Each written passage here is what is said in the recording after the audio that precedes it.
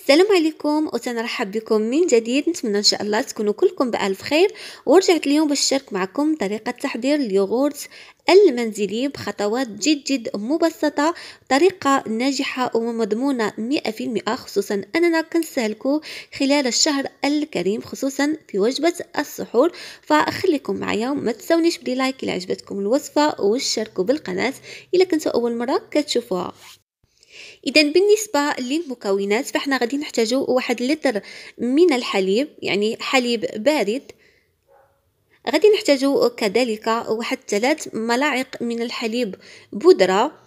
غنحتاجو كذلك واحد أربع ملاعق من السكر الخشن أو السنيدة وبالنسبة للسكر الخشن كذلك فهو تبقى على حسب الذوق.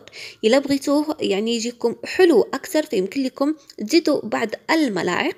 هنا كذلك غادي نحتاجو واحد العلبة ديال اليوغورت سواء طبيعي أو بأي نكهة كتفضلوا يعني العلبة كتكون فيها 125 غرام. بالنسبة للمنكهات فتقدروا تستعملوا يعني نكهة الفانيلا. هنا كذلك عندي نكهة الفستق أو ال pistache. يعني هادو كيبقاو اختياريين إلا بغيتو تعطيو اليوغورت ديالكم واحد النكهة أو واحد المذاق اللي هو مميز. إذا بالنسبة لطريقة التحضير فاحنا غادي ناخذ آه، كما قلت لكم عندنا لتر ديال الحليب فغنستعملوا منه فقط نصف لتر من الحليب هو اللي وضعته في هذا الإناء. غادي نضيف عليه اليوغورت. وبالنسبة لليوغورت فهو اللي تحفز لنا أن الريب ديالنا أو اليوغورت كيجي متماسك. يعني قد ما زدنا من الكمية ديال آه اليوغورت اللي كنضيفوه فكيجي متماسك أكثر وكنضيفو كذلك السكر السنيدة الحليب بودرة وتنحاولوا أننا نخلطوا جميع هاد العناصر ونحاولوا ما أمكن حتى كيذوب لينا سكر سنيدة. وكذلك الحبيبات ديال الحليب بودرة باش هكذا ما تيبقاوش لينا التكتلات اللي غادي يخسروا لينا الشكل ديال اليوغورت الطبيعي. يعني نعطيو شوية ديال الخاطر ونحاولوا أننا نطربوا جميع العناصر. وكنأكد بأن هذا الحليب فهو بارد واستعملنا فقط نصف لتر. هنا كما كتشوفوا ضفت كذلك نكهة الفانيلا يعني باش يجيني قريب هكذا اليوغورت اللي كيتباع آه يعني في المحلات أو اليوغورت التجاري.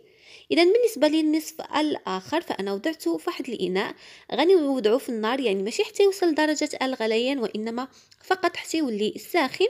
وغنضيفوه على الخليط الأول شوية بشوية وحنا كنستمروا في التحريك حتى كينسجموا لنا جميع العناصر.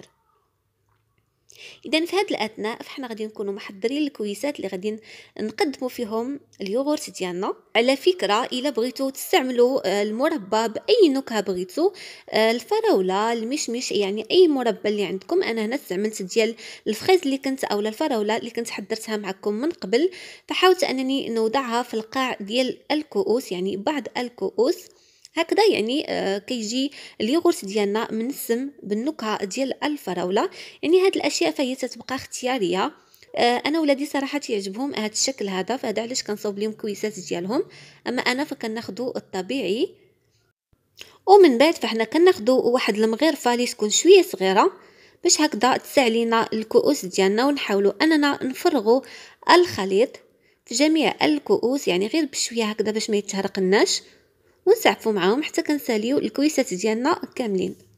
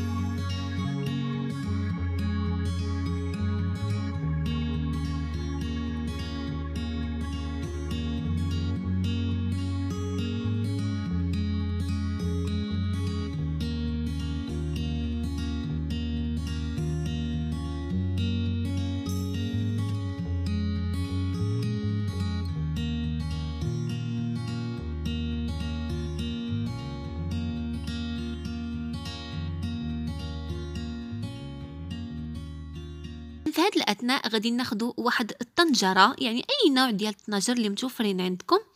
غادي نحاولوا أننا نرتبوا فيهم الكؤوس ونفرغوا ماء ساخن اللي حنا سخناه من قبل يعني ماء اللي يكون آه ساخن جدا.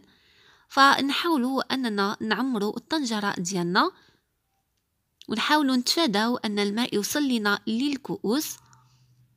ومن بعد فاحنا غادي نغطيو هاد الطنجرة هادي بواحد المنديل فبهذه الطريقة فإحنا كنتفاداو أن هاد البخار يعاود يرجع لينا على اليوغورت ديالنا وتتكونوا لينا آه، آه، الفقاعات.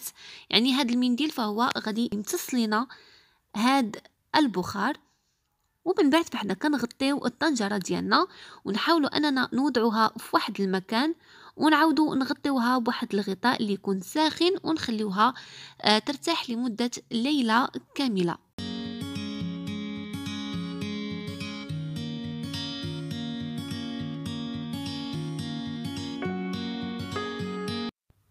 فمن بعد ما كتمر ليلة كاملة أو لا على الأقل عشر ساعات فتكون اليوغورت المنزلي ديالنا جاهز. يعني حصلنا على واحد اليوغورت بواحد القوام بحال يعني اليوغورت اللي كيتباع في المحلات التجارية.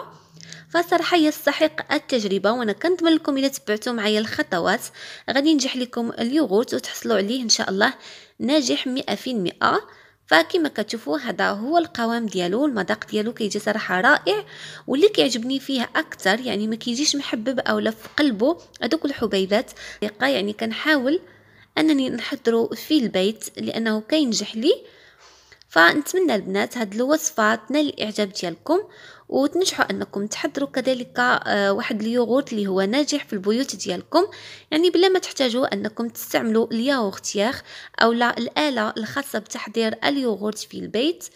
فالمذاق ديالو صراحة تيجي رائع متماسك. فنتمنى الوصفة ديال اليوم البنات تكون نالت الإعجاب ديالكم جربوها وردوا عليا الخبر وكما العادة فما تبخلوش عليا ب like ديالكم واشتركوا بالقناة إلا اكتشفتوها لأول مرة. فمبروك عواشركم تنتمنى لكم الخير من كل قلبي وخليت لكم لهنا ونتلقاو فيديوهات قادمة بإذن الله. علي bye bye.